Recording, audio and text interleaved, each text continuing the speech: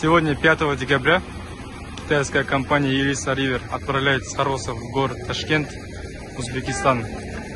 Один автовоз, 7 электромобилей EID.